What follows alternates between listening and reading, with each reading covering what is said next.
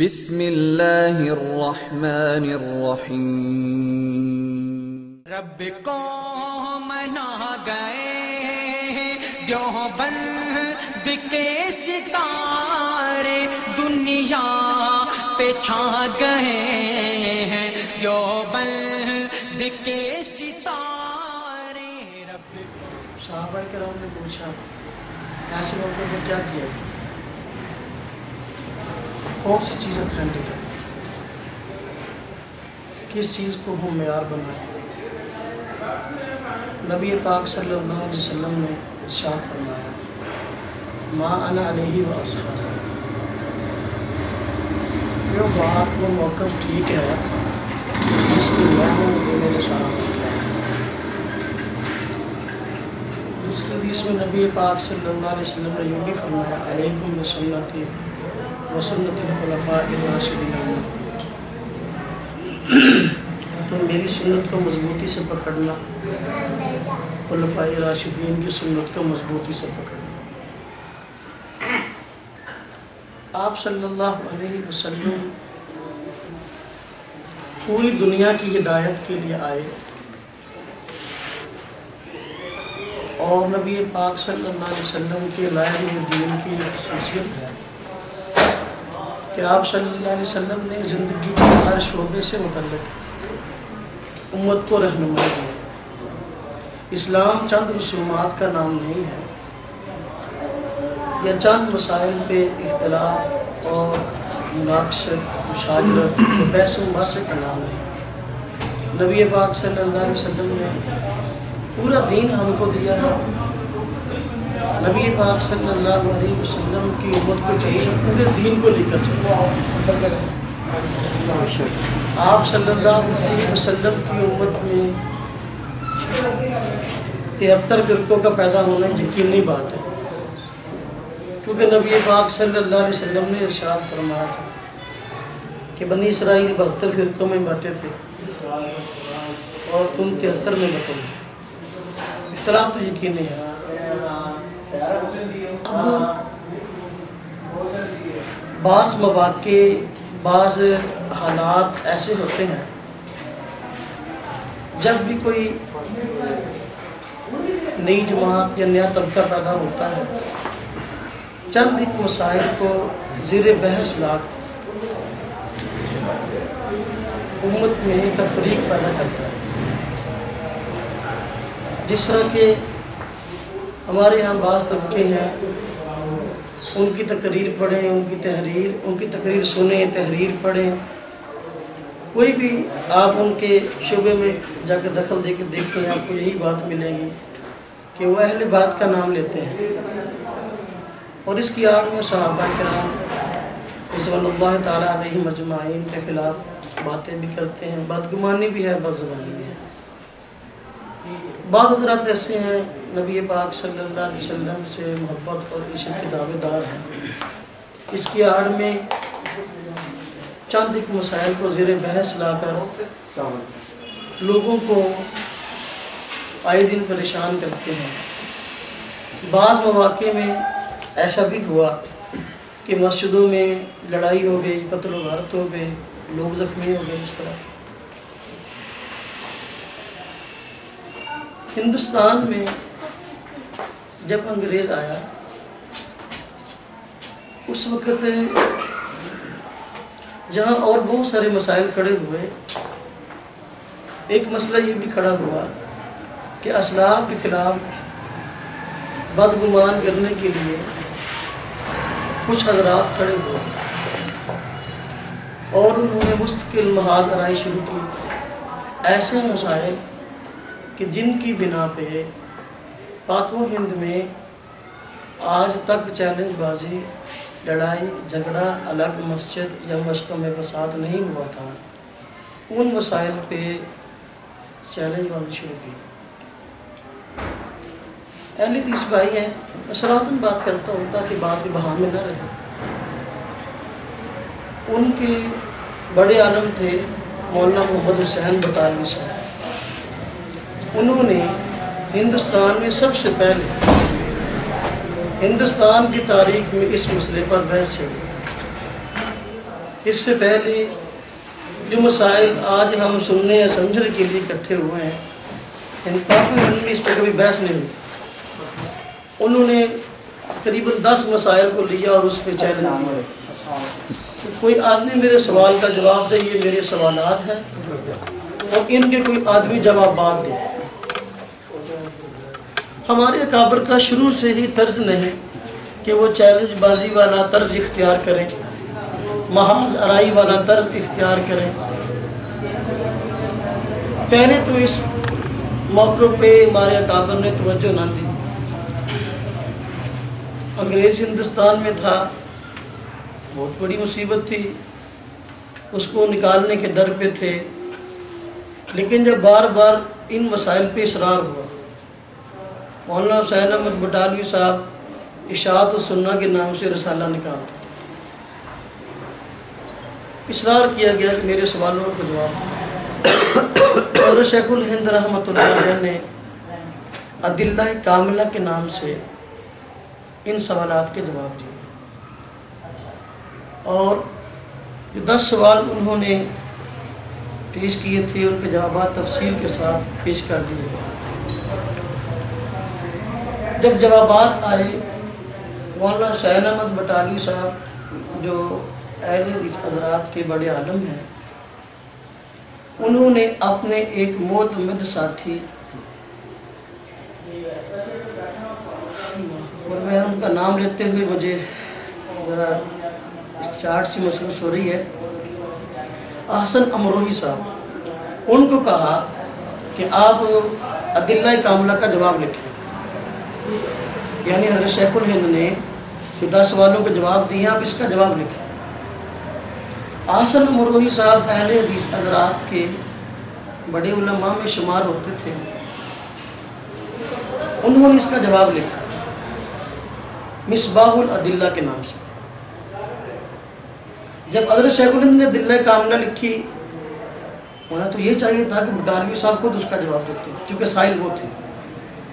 لیکن جب آسن امروہی صاحب نے مصباح العدلہ کے نام سے اس کا جواب لکھا، حضرت شیخ الہند نے خود بعد میں اضاح العدلہ کے نام سے اس کا جواب لکھا، مصباح العدلہ کا۔ اور اس میں حضرت لکھتے ہیں کہ میں کافی دیر تک انتظار میں رہا کہ شاید کہ بٹالوی صاحب خود میری کتاب کا جواب دیں گے۔ لیکن انہوں نے اپنے رسالے شاعت و سننا میں یہ کہہ کر بات پوری کر لی۔ کہ میری طرف سے احسن امروہی صاحب نے جواب مصباح العدلہ کے نام سے دے دیا ہے اور میں اس کو کافی سمجھتا ہوں۔ اب دینے کی ضرورت نہیں ہے۔ اب وہ احسن امروہی صاحب جنہوں نے یہ جواب لکھا، آج وہ جواب مارکیٹ میں موجود نہیں ہے۔ شاید وہ کتاب کسی کو ڈھونڈنے سے بھی نہ ملے ہندوستان کے کسی قدیم کتب خانے میں پڑھی ہو سو پڑھی ہو۔ مصباح الدلہ کے نام سے۔ اب وہ مارکیٹ میں نہیں چھپتی۔ حالانکہ مولانا حسین بٹالوی صاحب نے خود کہا تھا کہ میری طرف سے جواب حضرت شیخ الہند کو احسن امروہی صاحب نے دے دیا۔ لیکن اب وہ کتاب نہیں چھپتی۔ آپ حضرات کہیں گے وہ کتاب کیوں نہیں چھپتی؟ کتاب اس لیے نہیں چھپتی کہ آسن امروہی صاحب جن جو جن کو اہل حدیث، علماء اور عوام احسن المناظرین کہتے تھے کہ سب سے بڑے اچھے مناظر ہیں، وہ بعد میں مرزائی ہو گئے بعد میں مرزا قادیانی کی تائید میں انہوں نے مختلف کتابیں لکھی ہیں۔ میرے پاس خود کتابیں پڑھی ہیں۔ ان کی ایک کتاب مستقل مرزائی ہونے کے بعد کی ان کی کتاب ہے، جس میں انہوں نے ثابت کیا ہے نبی پاک صلی اللہ علیہ وسلم کے بارے میں جو خوشخبری ہے، حضرت عیسیٰ کی زبانی کہ میرے بعد پیغمبر ہوں گے، اس مہو احمد، ان کا نام احمد ہے۔ تو انہوں نے اس موضوع پہ کتاب بعد میں لکھی کہ احمد اگرچہ نبی پاک صلی اللہ علیہ وسلم کی ذات بھی مراد ہے، مرزا قادیانی بھی اس سے مراد ہے۔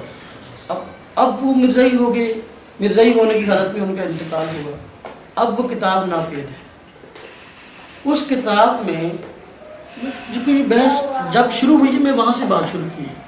ہمارے آج کی بحث نہیں ہے کہ ہم آج بھی اکٹھے ہوئے کتابیں لکھ کر جی دوسرے کی تسلی کرائیں یا یا کریں۔ اس وقت کی بات ہے۔ مصباح العدلہ کتاب، ٹھیک ہے، مولانا آسن مروہی صاحب اگر وہ مرزائی ہو گئے، لیکن کتاب تو چھپنی چاہیے تھے نا۔ مولانا حسین بدالوی صاحب نے کہا تھا کہ بھئی یہ اس کا جواب ہے اور کافی شافی جواب ہے۔ لیکن کتاب نہیں چھپتی۔ کیوں؟ اس کی ایک وجہ یہ تھی خود مرزائی ہو گئے۔ دوسری وجہ یہ تھی کہ اس میں جو باتیں کہی گئیں، آج کے اندیس بھائی ان باتوں کو ماننے کے لیے تیار نہیں۔ مثلا رفائی دین کی جگہ رفائی دین کا جھگڑا ہے۔ آمین اونچے کہنے کی بحث ہے۔ یا یہ ہاتھ کہاں باندھنے ہیں، اس کی بحث ہے۔ یا اپنا امام کے پیچھے قرآن پڑھنا کہ نہیں پڑھنا، اس کی بحث ہے۔ اب انہوں نے جو انداز اختیار کیا تھا، آج اہل حدیث بھائی اس انداز کو اختیار نہیں کر انہوں نے خود اپنی کتاب مصباح العدلہ مصباحت کو تسلیم کیا۔ اضاح العدلہ کے نام سے شیخ الہند نے اس کا جواب لکھا۔ انہوں نے ہر شیخ الہند نے بار بار حوالے دیے کہ آپ کا یہ دعویٰ ہے۔ ہم خود کہتے ہیں کہ نبی پاک صلی اللہ علیہ وسلم نے رفع دین ہمیشہ نہیں کیا۔ جبکہ ہماری آپ سے بحث اس مسئلے میں نہیں ہے کہ نبی پاک صلی اللہ علیہ وسلم نے رفع دین کیا کہ نہیں کیا۔ یہ تو ہم بھی مانتے ہیں، آپ بھی مانتے ہیں۔ آپ کہتے ہیں کہ ہمیشہ کیا آپ اس پہ حدیث پیش کیجیے، نبی پاک صلی اللہ علیہ وسلم کا اگر امتی ہے، اگر حلال زادہ ہے، تو وہ نبی پاک صلی اللہ علیہ وسلم کی حدیث کے مقابلے میں اپنی رائے کیسے بیان کر سکتا کہ میں اس کو نہیں مانتا؟ آج اہل حدیث بھائی کہتے ہیں کہ نبی پاک صلی اللہ علیہ وسلم نے پوری زندگی رفع دین کیا پوری زندگی۔ کبھی بھی کوئی نماز رفع دین کی غیر نہیں پڑی ہمارے یہاں آباد میں ایک عالم آئے۔ میں چیلنج بازی کی بات کرتا ہوں۔ چیلنج بازی کہاں تک پہنچی ہے؟ ہمارے یہاں چند افراد کی بات نہیں ہے۔ فیصل آباد میں ایک عالم ہے نواز چیمہ صاحب۔ اہل حدیث عالم ہے فیصل آباد میں انہوں نے چیلنج کیا کہ جی جو آدمی رفع دین نہ کرنے کی حدیث دکھائے گا، میں اس کو گاڑی کی چابی انعام دوں گا۔ یہ ان کے لیٹر پیڈ تھی ان کی تحریر میرے پاس موجود ہے۔ رفع دین نہ کرنے کی حدیث دکھائے گا میں اس کو گاڑی کی چابی انعام دوں گا۔ میں نے ایک جلسے میں کہا، میں نے پہلے تو جن بھائیوں نے اس کو بلایا تھا، مولوی صاحب کو میں نے کہا بھی، ان کو کہو کہ یہ بات تم لکھ کر دو۔ جو زبانی کہی ہے، لکھ کر دو گے تو آپ کو بھی پاسداری کرنی آسان رہے گی، ہمیں بھی پاسداری کرنی آسان رہے گی۔ تو کافی دیر تک تو لہت و لال ہوتا رہا، لکھ کے نہیں دیا۔ پھر جب حدیث بھائیوں نے ہی اس سے اصرار کیا کہ آپ لکھ کے دیجیے کہ ہم سے دوسرے حضرات مطالبہ کرتے ہیں۔ انہوں نے اپنے لیٹر پیڈ مرکزی جمعیت اہل حدیث کہ وہ دار ہیں، انہوں نے خود اپنے لیٹر پیڈ پہ جو ہے رکن مرکزی مجلس شورا مرکزی جمعیت اہل حدیث پاکستان۔ اس میں وہ لیٹر پیڈ پہ خود جو ہے، یہ چیلنج لکھ کر بھیجا۔ اور اس میں کہا کہ جی ان کو میں نے جلسے میں اس کی وضاحت کی۔ میں نے کہا، آپ نے فرمایا کہ میں گاڑی کی چابی انعام دوں گا۔ تو ایسا نہ ہو کہ حدیث ہم پیش کریں، پھر آپ گاڑی کی صرف چابی ہمیں حوالے کر دیں اور گاڑی کا مسئلہ پھر پیچھے رہ جائے۔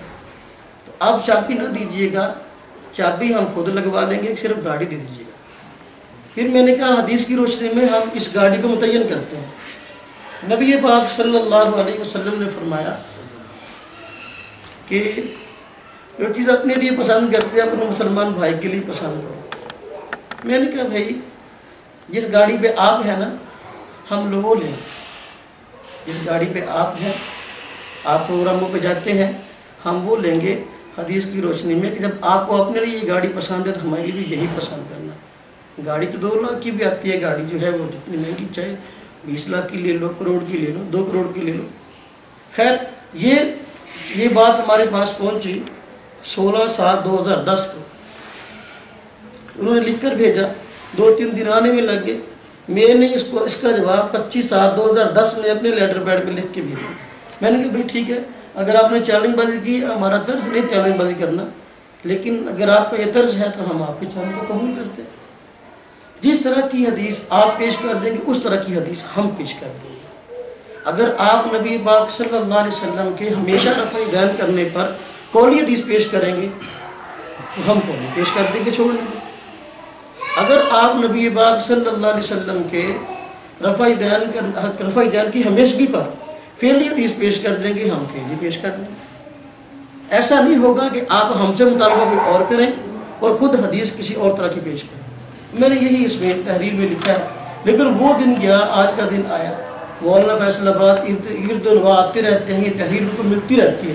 اس وقت سے لے کر آج تک انہوں نے اس بات کا جواب دیا۔ میں چیلنج بازی کے حوالے سے بات کر رہا تھا۔ ہم بھی مسئلے کو سمجھنے کے لیے بیٹھے ہیں۔ ہمارا اس بات میں کوئی اختلاف نہیں ہے۔ کہ نبی پاک صلی اللہ علیہ وسلم نے رفع دین کیا کہ نہیں کیا؟ ہم بھی کہتے ہیں آپ صلی اللہ علیہ وسلم رفع دین کرتے تھے۔ اہل حدیث بھائی بھی کہتے ہیں کہ رفع دین کرتے تھے۔ جھگڑا کس بات میں ہے؟ وہ کہتے ہیں کہ ہمیشہ کرتے تھے۔ نبی پاک صلی اللہ علیہ وسلم نے یہ رفع دین پوری زندگی فرمایا، کبھی بھی کوئی نماز رفع دین کے بغیر نہیں پڑھی۔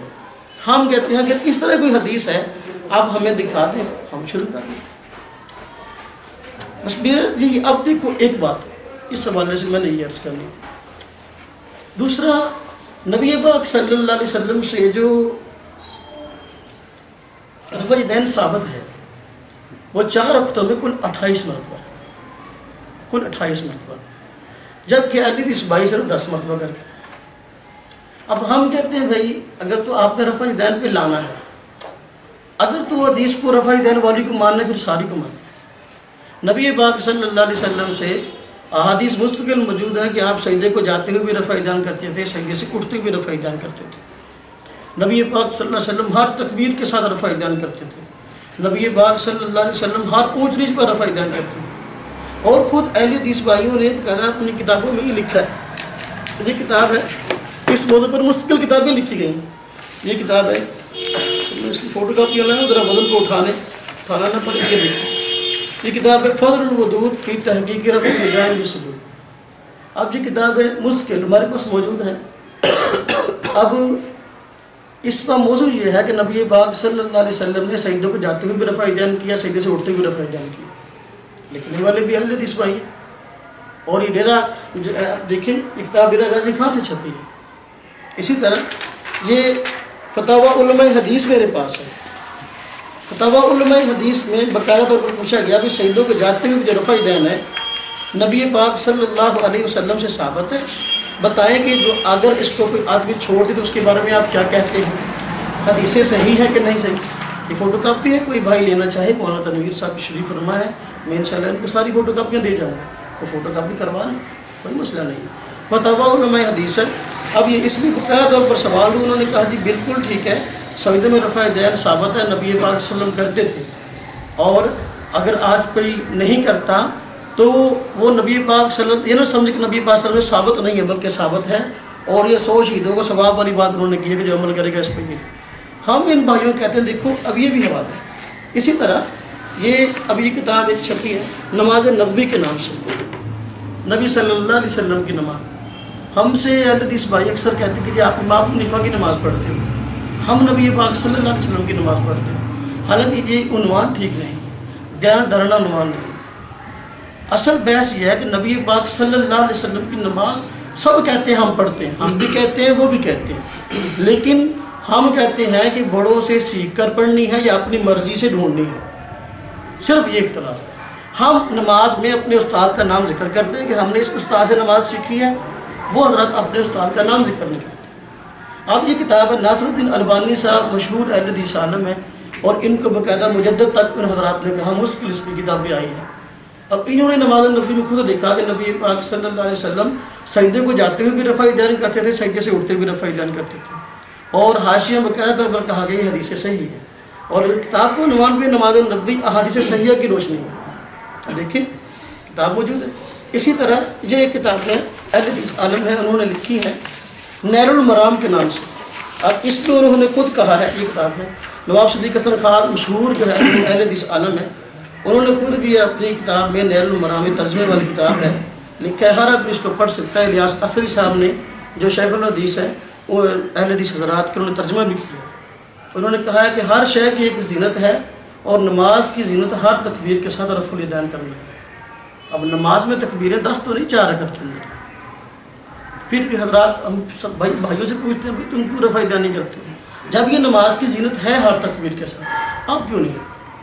پھر اسی طرح یہ دیکھیں، یہ ایک اور کتاب ہے، اسی عنوان سے کہ نبی پاک صلی اللہ علیہ وسلم بیک کیجیے۔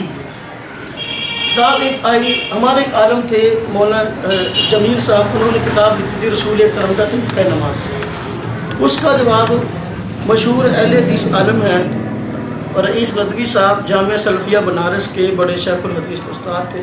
ان کے نام کے ساتھ شیخ الاسلام بھی لکھا ہوئی ہے۔ میری صاحب ان کی کتاب ہے۔ شیخ الاسلام نام کے ساتھ لکھا ہوا ان کے، اس کی جیب میں۔ کتاب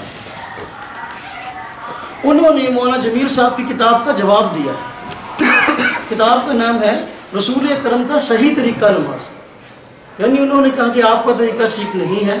ہم پیش کرتے ہیں نبی پاک صلی اللہ علیہ وسلم کا صحیح طریقہ نماز کیا ہے اب دیکھیے نب انہوں نے پھر اس میں جا بجا طور پر لکھا ہے کہ سجدے میں رفع دین جو ہے وہ کرنا چاہیے، یہ مستحب اور خود لکھا، چار رکعت کی نماز میں چھبیس مرتبہ رفع دین ہے، صفحہ نمبر چار سو چھیانوے پہ لکھا ہے۔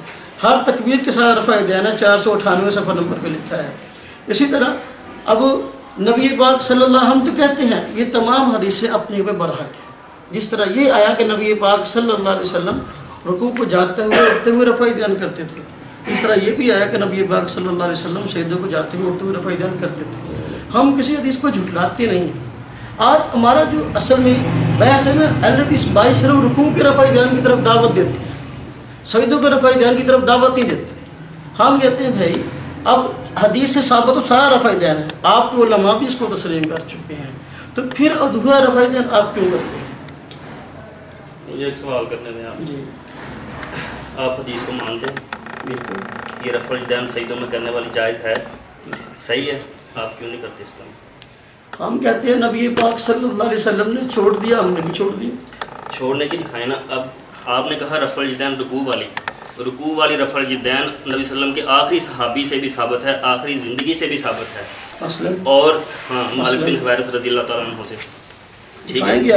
اس کے بعد میری سنیں میری سنیں جس طرح آپ زبانی باتیں سنا رہے ہیں نا میں بھی زبانی میں آپ نے جتنے حوالے دیے میری بات نے سر میری بات نہیں پوری ہوئی میری بات پوری ہونے۔ نبی صلی اللہ علیہ وسلم کے آخری صحابی کہتے ہیں کہ نبی صلی اللہ علیہ وسلم نے نماز پڑھی رفع الجدین کیا رکوع میں جاتے ہوئے رکوع سے اٹھتے ہوئے حالانکہ انہوں نے اپنا سجدوں میں جاتے سجدوں کے درمیان نہیں کیا جب آخری صحابی یہ بات کر رہے ہیں ہم کون ہوتے ہیں کہ اپنی مرضی سے سجدوں کے درمیان کرنا اگر آپ کہہ رہے ہیں کہ وہ احادیث ٹھیک ہیں سجدے میں جانے والی پھر اس پہ عمل کریں آپ آپ کیوں نہیں کرتے؟ ہم تو کہتے ہیں آخری صحابی ثابت نہیں ہے اس لیے ہم نہیں کرتے۔ یہ آخری صحابی جو ہے۔ کیا وہ سیدوں کی حدیث نقل نہیں کرتے؟ پہلی بات میں بھائی بھائی بات سمجھے بات ہم نے سمجھنے میں بحث نہیں کی۔ بحث کرنی تو ہم کسی عالم سے آپ نہ کرنے کی آپ نے سنا دی ہیں کہ اتنی ساری ہیں کوئی دکھائیں آپ مجھے۔ پریشان نہ ہو اگر آپ نے سوال کرنا بالکل۔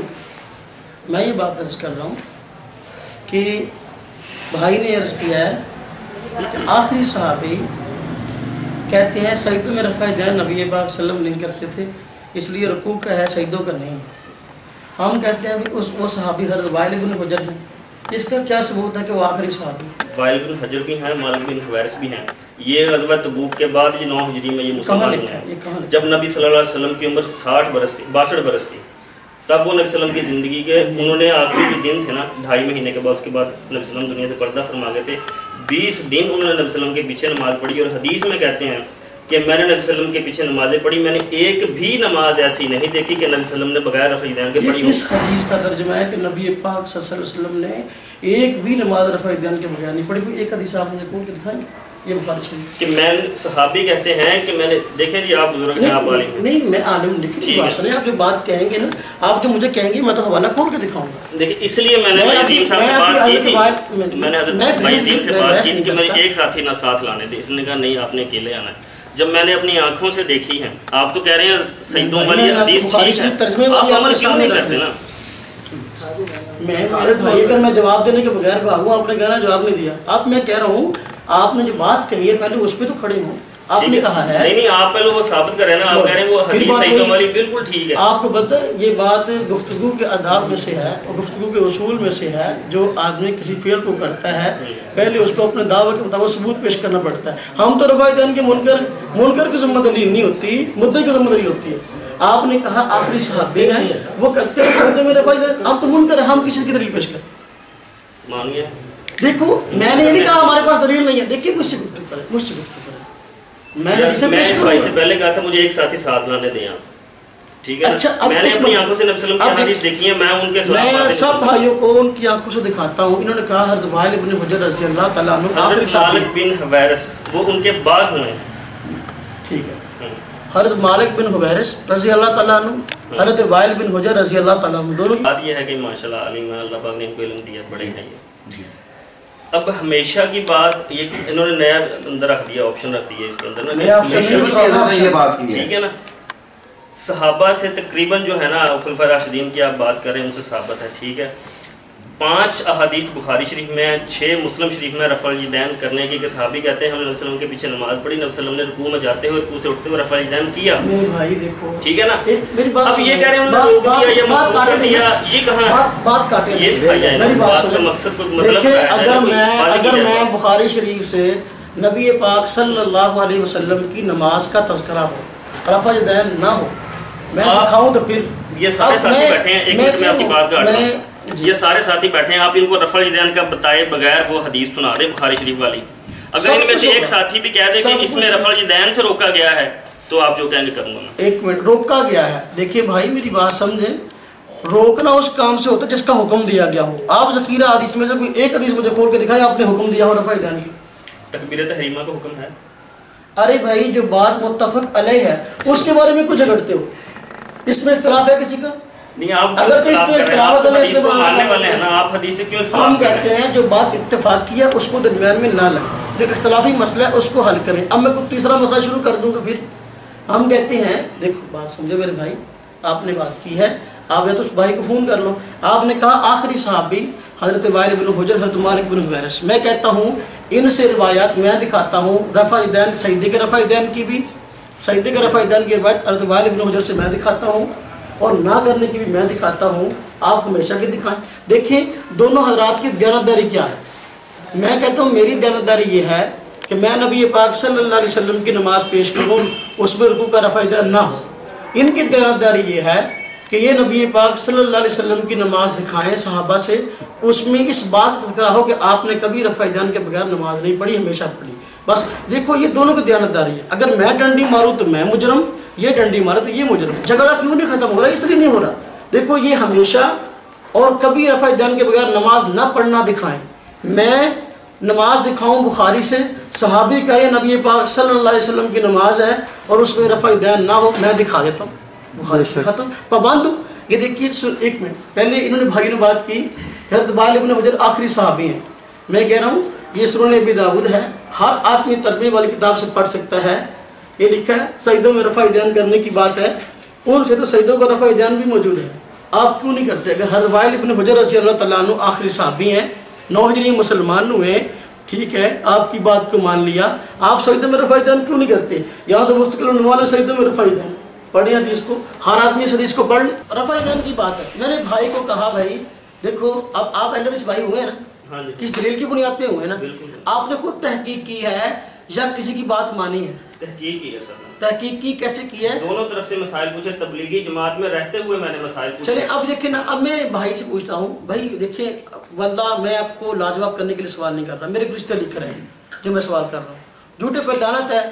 دین کے نام پہ ہم نے کسی فراڈ کرنا ہے کسی کو نیچا دکھانا ہے تو میں کہتا ہوں کہ اس بڑا لانتی کوئی نہیں ہے۔ اب یہ بات دین کو امام سے سمجھ کہہ رہے لیں۔ ہیں یہ جو حدیث ہے وسلم رفع الدین سے روکا ہے نبی روکا ہے۔ نبی پاک صلی اللہ علیہ وسلم نے رفع دین کا حکم کیوں نہیں دیا؟ نماز نے بھائی میری بات۔ کے پہلے جواب میں آپ سے بات عرض کر رہا تھا کہ آپ نے تحقیق میں جو بات میں آپ عرض کر رہا تھا اس بات طرف میں نے آپ کہہ رہے ہیں کہ میں نے تحقیق کی بنیاد پہ اے، جو ہے نا وہ جو بھی کیا ہے مسلک چینج کے جو بھی ہے۔ میں کہتا ہوں بھائی وہ ایک حدیث ہمیشہ رفع دین کی ہمیں بھی دکھا دو ہم بھی شروع کر دیں۔ آپ خود اگر آپ خود حدیث نکال کے دکھا بھی نہیں سکتے وہ کیسی تحقیق ہے جس کی پیچھے آپ پڑھیں آپ مجھے صرف یہ حدیث دکھا دے کہ حضور اکرم صلی اللہ علیہ وسلم کو کسی صحابی نے دیکھا نماز پڑھتے ہوئے وہ یہ کہہ دے کہ میں نبی صلی اللہ علیہ وسلم کو نماز پڑھتے ہوئے دیکھا انہوں نے رکوع میں جاتے ہوئے رکوع سے اٹھتے ہوئے رفع الجان نہیں کیا۔ آپ نہیں کا لفظ دکھا دیں میں نے میں نے کہا میرے بھائی میرے کہا- میرے بھائی میں نے کہا میری دیانتداری یہ ہے میں نے حدیث سے پیش کی میں نے حدیث سے پیش کی ایک منٹ میں نے حدیث سے پیش کی ہے میں نے حدیث سے پیش کی حضرت والد بن حجر رضی اللہ تعالیٰ عنہ سے روایت پیش کی ہے۔ بات سنیے صحابہ سے ہمیں کوئی اعتراض نہیں ہے۔ صحابی نبی پاک صلی اللہ علیہ وسلم کی نماز بیان کر رہے ہیں۔ صحابی نبی پاک صلی اللہ علیہ وسلم کی نماز پیش کر رہے ہیں۔ صحابہ کرام کی نماز پیش کر رہے ہیں۔ سجود ہی بتاتے ہیں اور کچھ نہیں بتاتے۔ یار جھگڑا آپ سے کس بات کا ہے؟ رکوع کے رفع دان کا ہے نا۔ جب رکوع کی کیفیت کو بیان کر رہے ہیں رفع دان نہیں بیان کر رہے ہم کہتے ہیں کیوں نہیں بیان کر رہے؟ انہوں نے کہا ہے رکوع کرو۔ رکوع کرو۔ اب رکوع کرو رفع دان کا نہیں کرانا کرو پھر آپ کیوں کرتے ہو؟